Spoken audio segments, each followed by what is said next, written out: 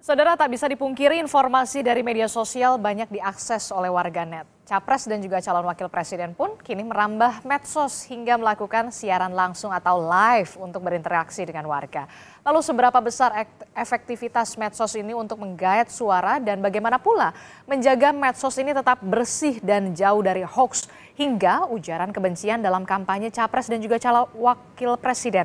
Kita ulas bersama dengan Wakil Deputi Milenial dan Gen Z Timnas Anies Muhaimin sudah ada Mbak Latifah Al Ansori. Selamat pagi, Assalamualaikum Mbak Tifa. Selamat pagi, Assalamualaikum. Apa kabar semuanya? Kabar Terima kasih Kompas TV sudah mengundang kami. Oke, ada juga juru bicara TKN Prabowo Gibran, Mbak Putri Komarudin. Mbak Put, selamat pagi, Assalamualaikum Mbak Put.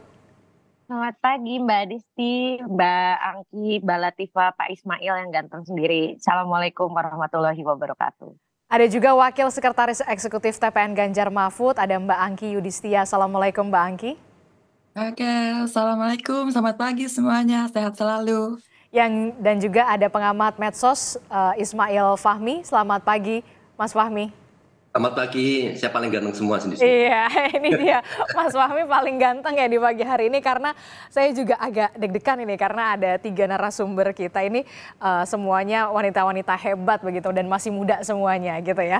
Nah, ini kalau kita lihat ya beberapa waktu belakangan ini uh, agak rajin sepertinya ya. Ada Pak Anies dan juga Pak Mahfud ini live TikTok kemudian uh, membicarakan ya sebenarnya hal-hal yang santai. Nah kalau saya lihat nih Mbak Tiffany untuk Pak Anies sendiri live TikTok ini merupakan hal baru atau memang pernah sebelumnya? Karena kalau kita lihat di saat live begitu ya, di saat perjalanan Uh, Pak Anies ini tampaknya masih mencari-cari tombol di layar HP. Terus ada juga nih yang kemudian viral adalah yang soal etalase. Tanggapan Anda, Mbak Tifa?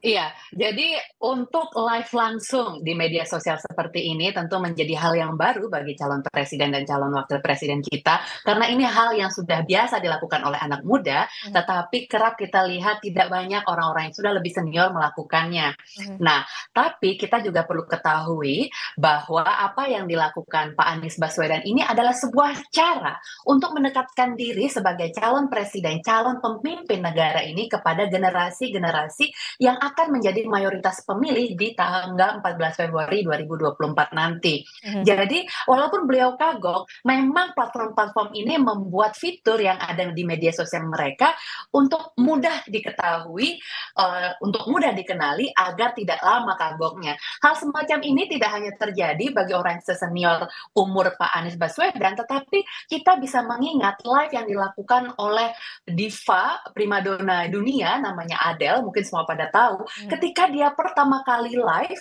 di Instagram dia dan semua orang pada shock dan dia sendiri juga bingung. Selena Gomez pertama kali live di TikTok, dia juga tidak mengerti.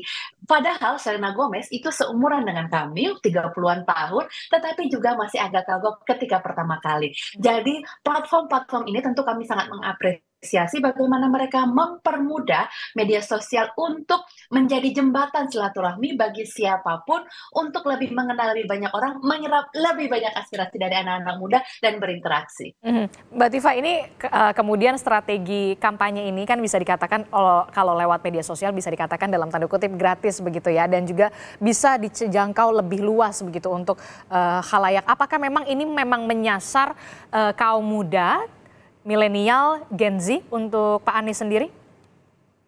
Jadi ketika kita membicarakan bagaimana kalau di media sosial ini bisa menjangkau lebih banyak, kita perlu mengetahui bahwa tidak hanya milenial yang disentuh, tetapi juga Gen Z dan juga orang-orang yang berada di luar umuran ini, tetapi mereka juga senang memanfaatkan media sosial. Dan ketika kita membicarakan jarak, kita tidak bisa semata-mata hanya membicarakan, oh mereka yang jauh di sana tetapi di kota. Karena pengguna media sosial dan juga para pemilih tidak terbatas hanya mereka yang tinggal di kota-kota besar, tetapi juga mereka yang berada di desa-desa dan juga ingin ikut berpartisipasi, mendengar langsung, dapat berita, informasi, melihat langsung di dari HP-nya langsung, dengar Pak Anies ngomong live itu ada. Nah, inilah yang mau kita buktikan uh, ke depannya bahwa calon presiden Republik Indonesia hadir untuk siapa pun di mana pun. Mm -hmm. Oke, okay, yang juga kita tahu selain uh, Pak Anies begitu capres 01 juga yang kemudian uh, uh, mulai rajin untuk live Instagram ataupun TikTok begitu adalah calon wakil presiden 03 yakni Pak Mahfud. Ini juga membicarakan hal ya, hal-hal yang kemudian ringan bahkan soal sepak bola, tapi kemudian juga sempat uh, menyentil soal pemenang tidak akan berkuasa terus. Uh, ringan tapi tetap menyentuh hal-hal politik. Ini maksudnya seperti apa, Mbak Angki?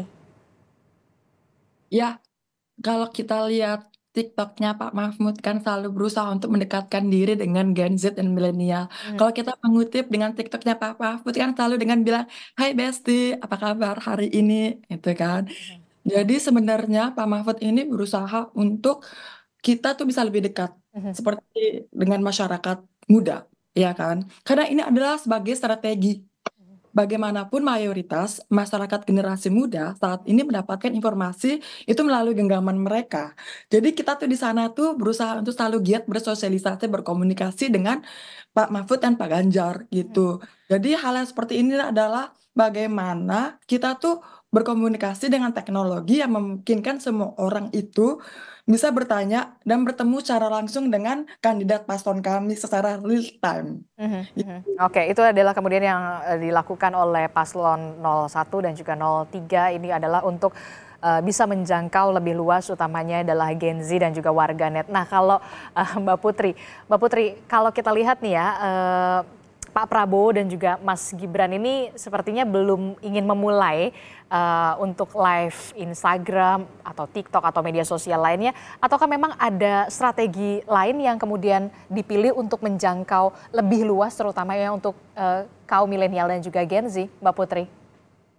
Ya, uh, justru kemarin kita sudah memulai dengan inovasi menggunakan uh, karya buatan anak bangsa asli hmm. dalam negeri ini uh, yang namanya platform foto berdua uh, menggunakan teknologi AI, di mana uh, masyarakat luas terutama generasi muda yang memang aktif bermedia sosial ini bisa uh, mengakses website tersebut secara gratis dan tentu bisa berfoto bersama Pak Prabowo dan Mas Gibran. Mm-hmm. Dan tentu uh, fotonya juga disesuaikan dengan aktivitas anak muda, ada yang mm-hmm. lagi nonton konser, ada yang uh, lagi berapa futsal atau sepak bola bareng uh, dan ini akan kami kembangkan terus sesuai dengan karakteristik di masing-masing daerah. Pada saat launching kemarin bahkan ada uh, apa salah satu uh, apa uh, tim uh, kami yang sangat kreatif juga masih anak muda juga menyarankan bahwa ini bisa disesuaikan dengan aktivitas anak-anak muda yang ada di uh, pedesaan misalnya sambil kerokan bareng atau misalnya sambil uh, begadang bareng uh, apa bersama dengan Karang Tarunanya misalnya dan kegiatan-kegiatan lainnya yang lebih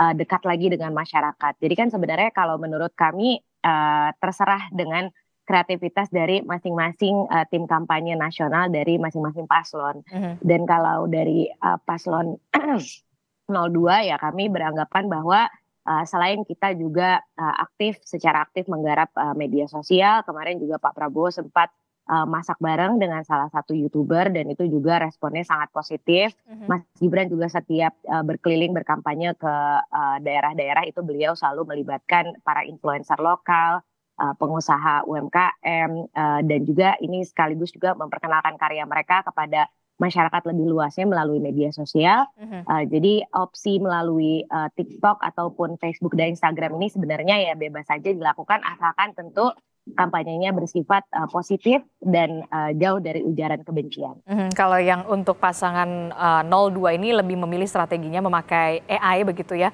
artificial ya. intelligence.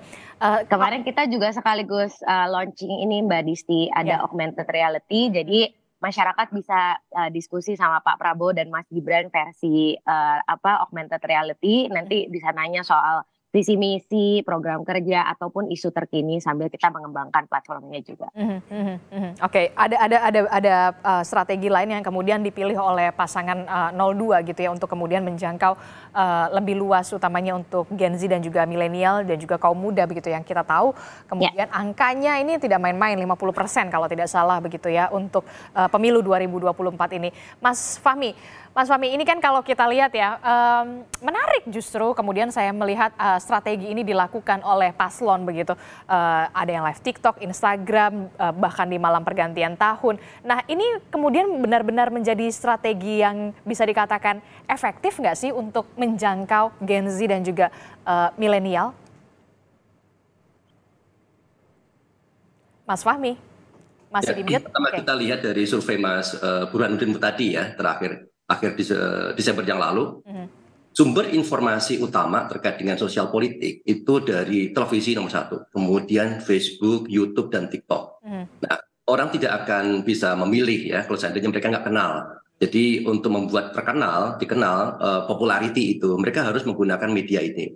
Twitter itu sangat ribut, rame ya, bisa mempengaruhi uh, ke mana-mana isunya, tetapi secara uh, persentase sangat kecil. Jadi saya kira ini sangat penting juga buat semua paslon untuk masuk di media sosial.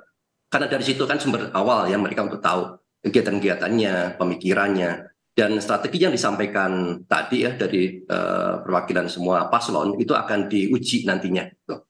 Dan uh, kalau saya lihat nih ya, uh, yang paling pertama kalau di media sosial itu dari 02 ya dengan adanya uh, gemoy gitu, uh, artificial intelligence itu luar biasa, dampaknya luar biasa waktu itu uh, terutama di TikTok. Ya. Mm -hmm. Dan kita lihat kalau di Filipina uh, mereka juga sangat terkenal menggunakan TikTok ini. Memang bedanya itu di Filipina itu uh, bukan hanya TikTok ya, di Twitter, di Facebook, di YouTube semuanya dipakai untuk ma ma maju di sini. Mm -hmm. Nah, di sini yang menarik akhirnya uh, challenge itu uh, dari 02 di challenge oleh 01 dan 03 ya.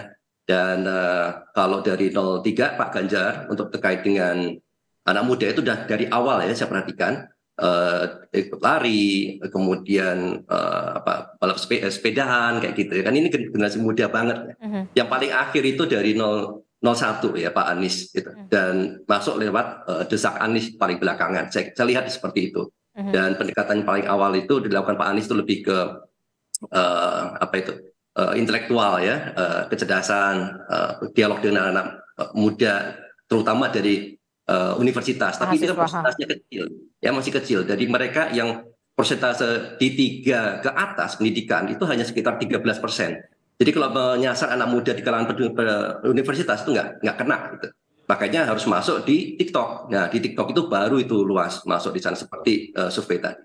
Saya kira demikian, Mas. Mm -hmm. uh, untuk platform yang kemudian paling uh, diminati oleh paslon dan juga uh, para warganet begitu ya pemilih ini TikTok, Instagram kah atau seperti apa? Itu yang paling disukai hmm. itu dari segi volume itu ya Facebook itu masuk tinggi itu. Uh, Facebook. Ini Facebook, kemudian YouTube dan TikTok itu tiga paling besar. Ya. Uh -huh. Kemudian dan Instagram itu nomor empat uh -huh. uh, dari media sosial terutama.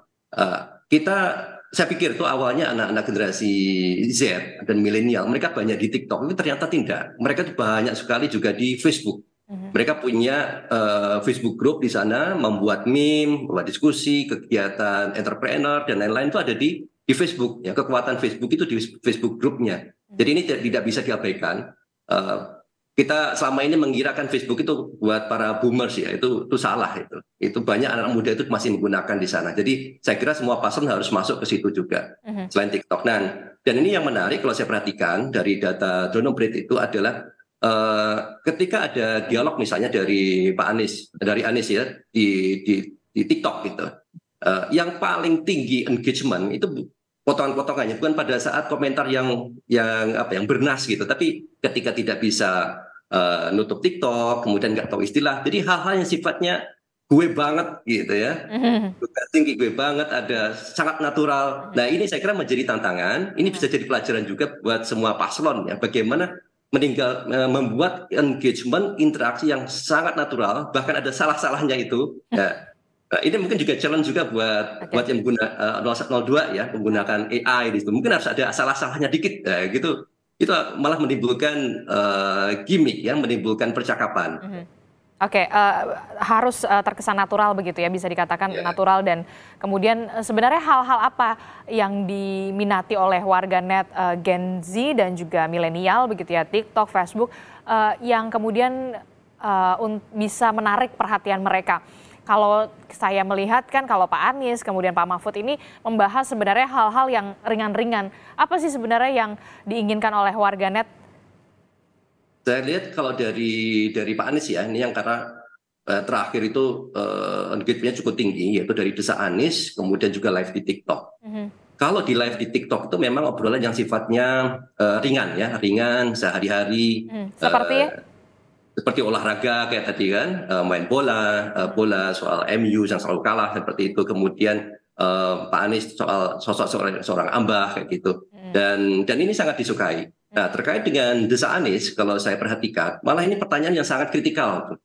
Ini saya lihat ini strategi kayak awalnya tuh kayak bunuh diri gitu ya. Kalau saya salah jawab itu bisa di digoreng kan sama netizen. Nah, di sana dia bisa bisa masuk ke ceruk yang selama ini belum kenal Anies, mm. uh, bahkan haters Anies, dan ini akan memperluas, tidak hanya berkampanye di tempatnya sendiri-sendiri. Mm-hmm. Dan anak-anak muda itu bisa bertanya apa pun. Mm-hmm. Uh, saya lihat pas awal-awal itu masih di kalangan mahasiswa, itu engagementnya belum tinggi. Tapi begitu masuk di peta di nelayan kalau nggak salah di Banyuwangi, sangat tinggi sekali. Ya. Kemudian terakhir dengan adanya Anies Bubble, itu membantu untuk mempromosikan, ya kemarin itu di Sumatera Barat kalau nggak salah ya, itu meningkat pesat ya. Jadi engagement yang dilakukan secara natural oleh anak-anak muda ini uh, ini akan berimpact sangat besar. Mhm. Dan ada saya perhatikan ini ada semacam uh, benturan uh, case kemarin saya bilang itu gaya-gaya pemikiran nuansa uh, tahun lalu 2019, 2014 dengan 2024 di mana 2024 ini ditandai oleh tingginya Gen Z dan milenial kan? Sekitar 56 persen kalau nggak salah ya, uh, dari KPU hmm. sangat tinggi. Jadi hmm. nuansa mereka pada saat sekarang ini itu uh, berbeda dengan sebelumnya. Mereka lebih suka hal yang sifatnya uh, membangun semangat ya. Memberikan motivasi. Hmm. terus kemudian entertainment juga Uh, termasuk Gen Z itu mereka punya problem uh, dengan apa mental health ya. Jadi kalau saya dikasih hal-hal yang sifatnya isu-isu yang lalu misalnya soal soal apa itu yang berat-berat itu isu HAM, isu isu apa ya suka nyerang ini kan Pak Prabowo itu ah. mungkin nggak terlalu masuk ah. itu di Gen nggak nggak terlalu dimakan begitu ya uh, termasuk juga soal soal politik identitas uh -huh. ARS FPI yang menyerang 01 kayak gitu mungkin juga nggak pas saya perhatikan di percakapan mereka ini ini ngobrol apaan sih kalian gitu ah oke okay, oke okay. nah ini yang juga kemudian menjadi pertanyaan saya adalah apakah kemudian ramainya uh, warganet yang kemudian menonton menyimak live di TikTok di Instagram, di Facebook ini apakah uh, mewakili pemilih asli? Saya kira ini uh, dari survei ya kita lihat itu dari surveinya Mas Burhanuddin tadi itu harus dipakai karena itu uh, dari survei itu yang ditanyakan pemilih asli ya dan real dan kemudian mereka ditanya dapat informasi dari mana. Mm-hmm. Saya kira uh, proxy untuk mengetahui jawaban dari pertanyaan itu ada di di situ ya. Uh, ketika mereka aktif mendapatkan informasi itu ada dari Facebook, kemudian YouTube dan TikTok, mereka akan lihat dari situ. Hmm. Dan itu uh, beri impact kepada para pemilih-pemilih asli ini. Hmm. Ya, jadi ini saya kira mewakili meskipun percakapannya itu dibangun oleh uh, ada ada buzzers ya, mereka ikut mental itu kalau nggak pas ya. Hmm. Bahkan tim ses pun juga sama kalau mencoba untuk memanipulasi uh, tiktokers misalnya gitu. Ada tiktokers ada wibu kan sekarang. Hmm. ada juga uh, uh, komunitas koceng ya kucing di situ. Nah ini mereka bisa nggak nggak masuk di situ. Dan itu bisa mewakili karena percakapan yang ada di situ membangun narasi besar hmm. yang banyak disebarkan informasi banyak disebarkan baik di Facebook di TikTok di YouTube di situ. Sehingga para pemilih asli pun ketika melihat medsos itu akan mendapatkan informasi yang umum tadi. Oke, sentimennya positifkah soal strategi ini?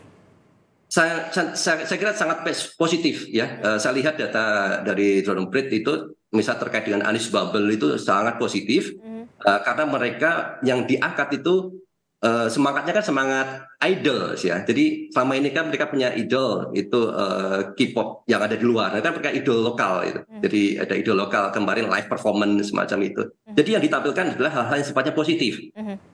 Kalau mereka ada war pun mereka harus cari ini mungkin ada fandom yang baru uh, fandomnya Pak Prabowo, fandomnya Pak Ganjar, mereka bikin war semacam itu seperti mereka war dengan uh, fan-fansnya yang lain di situ.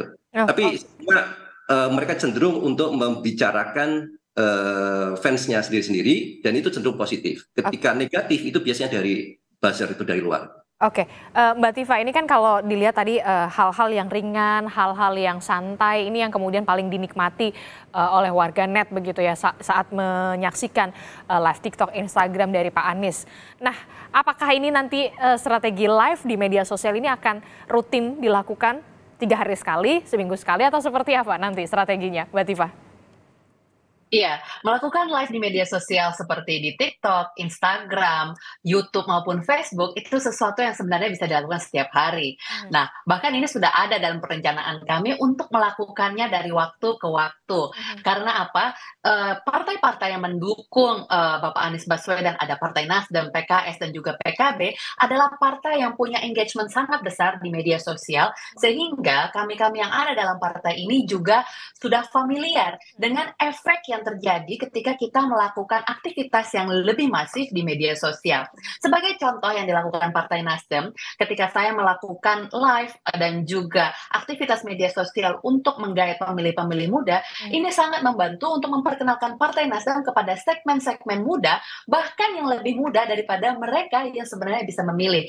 Hal-hal inilah sebenarnya yang kita tuju bahwa generasi Z, generasi milenial juga dapat mempengaruhi para pemilih-pemilih senior seperti orang tua dan juga kakeknya. Dan juga hal lainnya yang perlu diketahui juga adalah meskipun dalam satu keluarga orang tuanya sudah memilih uh, kandidat tertentu, tetapi dengan sentuhan-sentuhan yang baik dan yang positif, penuh semangat, generasi Z dan milenial bisa memberikan pilihan sesuai dengan hati mereka yang ini menjadi ceruk yang bagus untuk kita cari pilih, uh, terutama kandidat Amin untuk mendapatkan suara yang lebih banyak. Mm. Jadi nantikan pasangan Anies dan Caimin untuk tetap ada dekat dengan para pemilih lewat media sosial. Oke, kalau sekarang baru uh, Pak Anies begitu ya nanti mungkin uh, Gus Imin akan menyusul begitu ya live di TikTok, Instagram ataupun uh, Facebook dan juga YouTube. Nah, kalau Mbak Angki uh, akankah rutin uh, dilakukan oleh uh, Pak Mahfud atau Pak Ganjar untuk live uh, media sosial ini karena sentimennya positif ternyata. Ya, kalau kita lihat media platform TikTok saat ini memang sebagai salah satu media sosial yang sangat disukai dan digandrungi oleh kami sebagai generasi muda, hmm. khususnya Gen Z sama milenial. Tapi kami di TPN tentu akan all out di semua platform untuk memastikan proses sosialisasi ini berlangsung secara optimal. Jadi melalui berbagai storytelling, berbagi cerita, pesona yang dihadirkan, nggak hanya untuk dari Pak Ganjar dan Prof Mahmud, tapi juga tokoh-tokoh kami hmm. dari TPN dan juga partai-partai koalisi pendukung agar semakin dikenal masyarakat secara personal. Hmm. Karena kalau kita melihat personal Pak Ganjar dan Pak Mahfud ini kan sebenarnya memiliki rekam jejak yang mumpuni sebagai pemimpin. Sehingga generasi muda kian mantap dalam memilih Ganjar Mahfud di TPS pada 14 Februari 2024. Mm -hmm. Oke, okay. uh, eh, kalau Mbak Putri sendiri seperti apa? Apakah kemudian uh, dari ini tim ses sendiri apakah nanti akan tertarik gitu? Karena kan ya bisa dikatakan sentimennya positif begitu. Apalagi ketika warganet melihat uh, sosok Pak Prabowo mungkin atau Mas Ganjar mungkin yang kemudian langsung berinteraksi bertanya dan juga langsung menjawab begitu. Adakah kemudian ketertarikan ini Mbak Put? Ya, Uh, saya rasa kalau dari tim kampanye kami, tentu kami akan tetap fokus uh, pada program yang telah kami siapkan, uh, tentu dengan mengembangkan yang tadi saya sampaikan di awal, uh, apa platform AI tersebut sama augmented reality supaya kita juga bisa uh, apa mencontohkan bahwa kreativitas anak muda dalam negeri ini bisa kita bawa sampai dengan uh, apa ke depannya kalau kita berikan mereka kesempatan. Karena memang selama ini AI dan juga augmented reality ini belum banyak uh, dipakai uh, di kegiatan kampanye. Uh, dan apalagi ini juga bisa uh, menunjukkan bahwa uh, apa karya ataupun uh, pekerjaan dalam bidang ini adalah sesuatu yang mempunyai opportunity atau kesempatan yang banyak.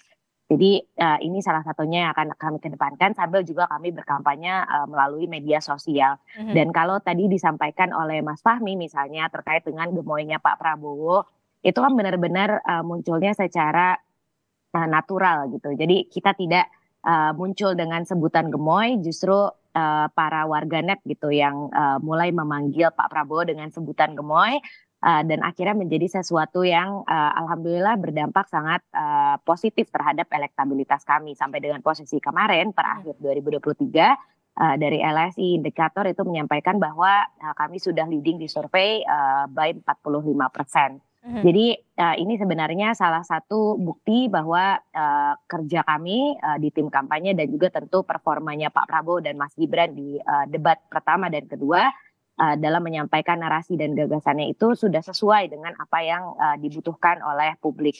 Jadi tentu kami akan terus uh, menunjukkan hal ini, terus menyampaikan ide-ide besar kami untuk Indonesia nantinya uh, dan tentunya terus mengedepankan kampanye positif yang selama ini juga selalu disampaikan oleh Pak Prabowo dan Mas Gibran. Mm-hmm. Jadi kalau Pak Prabowo dan Mas Gibran berkeliling, uh, beliau berdua selalu menyampaikan tidak boleh kita merespon adanya misalnya ujaran kebencian, fitnah dan lain-lainnya dan saya rasa itu akhirnya juga beresonansi dengan apa yang menjadi kebutuhan anak-anak muda seperti hmm. yang tadi Mas Fahmi sampaikan kalau misalnya sudah mulai ada kata-kata yang tidak mengenakan itu biasanya langsung ada respon negatif okay. uh, eh, dari anak-anak muda dan ini memang sesuai dengan uh, gaya kampanye kami dari awal. Oke, ini juga yang menjadi pertanyaan saya selanjutnya adalah bagaimana kemudian uh, kampanye, strategi kampanye di live medsos ini bisa menaikkan atau meningkatkan elektabilitas dari pasangan calon dan seperti kita tahu juga media sosial ini juga uh, apa ya bisa dikatakan rawan hoax, ujaran kebencian, haters dan sebagainya begitu. Lalu bagaimana kemudian uh, paslon ini bisa menangkalnya atau menangkisnya? Jangan dijawab dulu, tetaplah bersama kami di Sapa Indonesia Pagi usai jeda. Membahas strategi kampanye yang baru dilakukan adalah soal bagaimana uh, live di media sosial TikTok, Instagram, dan juga mungkin Facebook ataupun YouTube oleh eh, masing-masing uh, pasangan calon. Ada Pak Anies, kemudian juga ada Pak Mahfud, dan juga kalau di uh, pasangan 02 ini menggunakan artificial intelligence begitu ya Mbak Putri ya. Nah ini kan yang juga tidak bisa dihindari adalah uh, serangan haters begitu ya, buzzer atau dan segala macamnya begitu. Nah kalau untuk uh, pasangan 01 ini sendiri bagaimana kemudian ketika lagi live TikTok atau uh, lagi live lah ya Pak Andes begitu tiba-tiba ada ada yang menyerang lebih uh, open atau seperti apa nantinya? Nomor satu aturannya sabar. Hanya itu yang bisa kita lakukan ketika berhadapan dengan haters yang muncul di media sosial. Tidak hanya ketika live, tetapi dalam postingan-postingan yang menjadi ramai, uh, kerap ada saja seperti yang ada di akun Instagram saya yang terjadi saya memperhatikan ketika uh, postingan tersebut mulai viral dan menarik banyak perhatian ada ada pendukung-pendukung dari kandidat tertentu yang mulai mengundang uh, netizen-netizen akun netizen lainnya untuk me mulai menyerang akun saya dan postingan tersebut dengan uh, narasi-narasi yang saya anggap cukup unik. Nah, ini tidak ini, ini tidak bisa kita anggap hanya terjadi dalam postingan tetapi juga live. Namun kembali nomor satu aturannya adalah sabar karena kita tahu bahwa mungkin mereka lagi emosi, mungkin mereka nah. perlu menyalurkan aspirasinya dengan jempol-jempol. Jadi kita harus tetap fokus dan optimis bahwa dengan melakukan ini kita bisa meningkatkan kesadaran teman-teman semua bahwa popularitas Pak Anies itu ada, popularitas Caimin itu juga ada, dan kita mengejar elektabilitas hingga bisa menjadi pemenang dalam pemilu ini. Mm -hmm. Kalau Mbak Putri sendiri bagaimana? Uh, kemudian menanggapi serangan-serangan negatif, serangan-serangan netizen yang kemudian aduh ini gimana ya saya harus uh, apa kemudian membalasnya atau kemudian atau justru memilih ya udah sabar aja mau gimana lagi gitu. Mbak Put? Mbak Putri? Oke, tampaknya kita masih uh, uh, apa namanya sinyalnya masih ada bermasalah. Kita akan perbaiki kembali dengan uh, Mbak Putri. Kalau Mbak Angki sendiri, kalau pasangan 01 ya udahlah sabar aja kalau tiba-tiba lagi live TikTok atau Instagram tiba-tiba diserang oleh haters gitu. Kalau misalkan uh, Mbak Angki sendiri dari paslon 03 Mas Ganjar atau Pak Mahfud kemudian lagi live, kemudian ada uh, serangan haters, apa yang akan dilakukan? Tetap uh, menanggapi atau seperti apa? Nggak apa-apa. Nggak apa-apa, karena kenapa? Karena ini kan bentuk masyarakat kita kan mengungkapkan perasaannya, Mhm. ya kan? Sepanjang santun. gitu ya. Ada yang perasaan membanding-bandingkan, ada perasaan macam-macam bentuk emosinya sih. Tapi Pak Ganjar sama Prof Mahfud itu ya udah cuek aja karena kenapa? Karena kita berusaha untuk fokus. Fokus dengan apa yang kita lakukan, fokus apa yang kita uh, tujuannya kita. Karena kita menganggap bahwa serangan-serangan itu adalah bentuk bagaimana masyarakat itu mengungkapkan emosinya. Begitu. Mm-hmm, Oke, okay, jadi cuek aja lah ya. Ini merupakan uh, apa ya? Uh, aspirasi mereka begitu ya. Itu ya Mbak Angki ya. Nah, Mbak Putri. Mbak Putri. Oke, tampaknya kita masih uh, memperbaiki saluran komunikasi kita dengan Mbak Putri. Saya ke Mas Fahmi deh. Mas Fahmi, ini rawan sekali sebenarnya haters, kemudian buzzer, juga serangan-serangan negatif begitu. Uh, apa yang perlu diantisipasi sebenarnya oleh masing-masing paslon saat di ranahnya media sosial jangan sampai kemudian uh, apa ya uh, kita kan juga punya undang-undang ITE gitu ya, Mas Fahmi. Ya, uh, ini yang perlu diketahui bahwa seperti itu hal yang wajar ya di dalam kontestasi ini ada namanya kampanye positif, uh-huh. kampanye negatif, uh-huh. kemudian yang paling parah itu ada black campaign yang isinya fitnah. Makanya ini harus dibedakan. Ketika itu arahnya ke black campaign itu bisa larinya ke UITE ya, yang artinya lebih banyak fitnah biasanya bisa ke sana. Tapi kalau negatif campaign ini banyak dilakukan, artinya semua uh, paslon timnya ada yang menggunakan itu untuk mendegrada, mendegradasi calon yang lain ya. Dan uh, ini bisa dalam bentuk Eh, kadang-kadang yang sering dilakukan itu uh, hoax ya, disinformasi. Mm-hmm. Informasi lama dimunculkan lagi, dibuat konteks yang berbeda gitu ya. Kalau uh, campaign positif sudahlah nggak ada pertanyaan ya, tapi bagaimana menghadapi uh, campaign negatif yang dan disinformasi uh, bahkan black campaign ini? Ini saya kira penting untuk dilakukan masing-masing paslon membuat uh, fact check ya. Fact check berbasis fakta. Uh, katanya netizen seperti ini uh, faktanya seperti apa harus cek fakta betul ya berarti ya? Ya dan itu saya kira penting untuk dilakukan oleh paslonnya masing-masing sehingga terjadi uh, dialog nantinya kan? Seperti tadi disampaikan bahwa mungkin ini ada kesalahan. Mungkin ini karena mereka lagi uh, ada masalah kayak gitu pribadi kemudian menyampaikan itu atau mungkin bagian dari strategi. -huh. dan itu kalau dibiarkan publik akan menerima itu sebagai sebuah kebenaran. Uh-huh. Dan itu banyak sekali itu di platform-platform tertentu uh-huh. karena ketidakhadiran dari paslon untuk mengklarifikasi uh-huh. sehingga netizen yang ada di sana menerima informasi salah itu sebagai kebenaran okay. uh, tentang paslon tertentu dan dan ini kerugian besar kan sebetulnya bagi paslon ter tersebut ya. Uh-huh. Jadi ini sangat penting buat masing-masing paslon untuk uh, mengklarifikasi segera mungkin uh-huh. dengan cara yang yang atau di Twitter dalam bentuk meme barangkali kalau di TikTok ya dalam bentuk video singkat, uh, dalam YouTube juga sama perlu disampaikan. Jadi dari di berbagai platform harus dibuat. Dan ini akan membantu sebetulnya membantu uh, publik secara umum untuk memisahkan mana informasi benar dan informasi yang salah. Oke. Okay. Memang ada uh, misalnya cek fakta ya dilakukan oleh media, mm. kemudian Mavindo, Kominfo juga bikin. Tetapi mereka saya kira tidak bisa secepat itu dan kemudian memilih-milih ya yang yang menyerang paslon kayak gitu. Jadi harus dilakukan oleh tim paslon masing-masing untuk melakukan cek fakta ini. Mm-hmm. Oke, okay, Mbak Putri, uh, kita bergabung kembali. Sudah clear audionya, Mbak ya, Putri? Sudah, uh-uh, tadi okay. sempat terputus. Oke, okay. ya. Mbak Putri, ini kalau paslon 01, 03 punya strategi khusus uh, masing-masing mereka ya, kemudian uh, dalam menghadapi uh, serangan-serangan negatif dari netizen begitu ya, haters. Nah, kalau dari pasangan 02 sendiri, strategi apa yang kemudian dilakukan khususnya untuk serangan negatif dan juga haters di media sosial?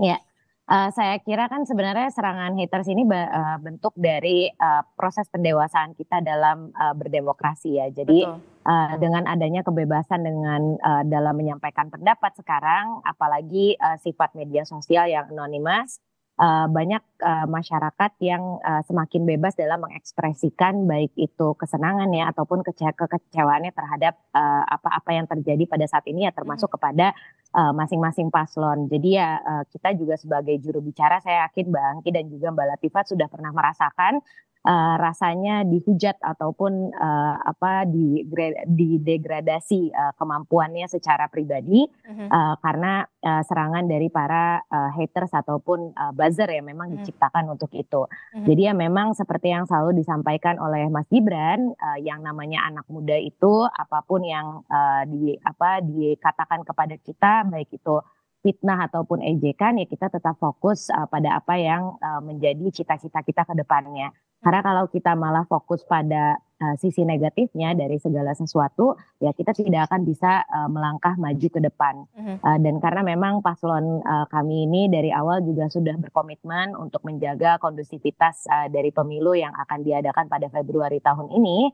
Uh, jadi kami juga akan terus uh, menyampaikan uh, gagasan yang kami punya, walaupun uh, diserang oleh uh, buzzer ataupun uh, ejekan apa pun uh, dan tetap fokus pada solusi yang memang konkret untuk Indonesia ke depan. Jadi ya marilah kita berbenah uh, di masing-masing tim kampanye supaya uh, masyarakat terutama yang di tingkat bawah ini tidak semakin terbawa pada efek-efek uh, kebencian yang sering terjadi pada pemilu. Karena memang uh, apa yang terjadi sekarang ini menurut saya jauh lebih baik daripada kondisi di pemilu yang lalu. Uh, di mana hanya ada dua pasangan calon ada cebong kompre, kampret ada uh, apa uh, segregasi antar agama dan itu sangat buruk untuk Indonesia ke depannya. Jadi harapannya tidak ada lagi kejadian-kejadian seperti hmm. itu. Mm-hmm. Oke, okay, kita semua berharap pastinya sepakat tidak ada lagi kemudian polarisasi yang terjadi pada tahun 2019 ini kembali terjadi di 2024. Uh, saya rasa kemudian uh, warga net sudah lebih harusnya sudah lebih bisa bijak dalam uh, bermedia sosial pastinya ya karena ada pembelajaran dari uh, sebelumnya. Nah, uh, Mas Fahmi tentunya kita lihat kan aktif di media sosial bagi paslon itu memang sebuah keniscayaan, tapi apa yang harus kemudian diperhatikan oleh masing-masing pasangan calon supaya jangan sampai di kemudian hari ini melanggar undang-undang ITE dan tidak terkena pasal karet, Mas Fahmi. Kalau dari sisi paslon dan mungkin tim tim ses yang inti ya, uh, saya lihat kok nggak perlu khawatir ya, karena bagus-bagus semua tadi yang sampaikan ya. Mm-hmm. Itu positif semua ya. Tapi memang di sini yang sering jadi masalah itu kadang-kadang dari pendukungnya atau mungkin ada tim defensif, tim ofensif, tim uh, penyerang dan seterusnya itu yang uh, tidak pernah kita bicarakan di forum terbuka ini. Dan Uh, dan itu yang membuat situasi memang jadi tidak kondisif ya. Tapi memang saya sepakat dengan Mbak Putri tadi, situasi sekarang lebih bagus daripada 2019, uh-huh. terutama dengan adanya generasi Z dan milenial, mereka tuh lebih suka hal yang sifatnya positif ya, konstruktif. Nah, buat uh, paslon ya ketika mereka supaya tidak kena UITE, saya kira ini harus berbasis data ya uh, track record menyampaikan visi misi selama menyampaikan itu aman nggak usah khawatir saya kira uh-huh. jadi kalau dari sisi mereka ya sendiri uh-huh. dan yang perlu diperhatikan malah sebetulnya dari pendukung ya dari pendukung karena uh, banyak juga yang melihat yeah. Iya. uh, merasa visi itu uh, paslonnya sih bagus tapi pendukungnya ini yang kadang-kadang uh, kebangetan mungkin gitu ya menyerang dengan kata-kata nggak baik uh-huh. dan bahkan juga ada pendukung yang pura-pura pendukung yang lain ya menggunakan bahasa yang buruk supaya pendukungnya tampak buruk lah. Aha. Segala macam strategi teknik yang yang buruk itu ada di media sosial. Maka ini harus di menjadi perhatian dari tim ses. Hmm. Semua tim ses harus harus punya perhatian terhadap uh, para pendukungnya ini. Hmm. Ya sama seperti kita ya Mbak Putri waktu itu sempat ramai tapi ya kita uh, di, di kehidupan nyata ya besti-besti aja gitu tidak ada masalah begitu ya Mbak Putri ya. Ya itulah yang kemudian menjadi uh, apa ya uh, harus di uh, dibagi kemudian di media sosial dan juga di kehidupan nyata. Jangan sampai kemudian uh, apa yang terjadi di kehidupan media sosial juga terjadi di kehidupan nyata begitu. Kita tetap harus berbijak uh, uh, di media sosial dan uh, strategi kampanye uh, live medsos di masing-masing paslon ini bisa dikatakan salah satu strategi baru untuk meraih atau menggait uh, tebar pesona begitu ya uh, untuk memilih kaum uh, muda dan juga Gen Z, milenial begitu. Tapi juga yang terpenting adalah gagasan yang konkret, gagasan yang realistis itulah yang kemudian uh, saya rasa masih ditunggu oleh publik dan harus diyakinkan oleh masing-masing paslon sampai di 14 Februari 2024. Terima kasih Mbak Putri, Mbak Angki, Mbak Latifa, kemudian Mas Fahmi telah bergabung bersama kami. Kita nanti dialog lagi di kesempatan lain. Terima kasih, sehat-sehat selalu. Assalamualaikum. Terima kasih. Assalamualaikum warahmatullahi wabarakatuh. Terima kasih.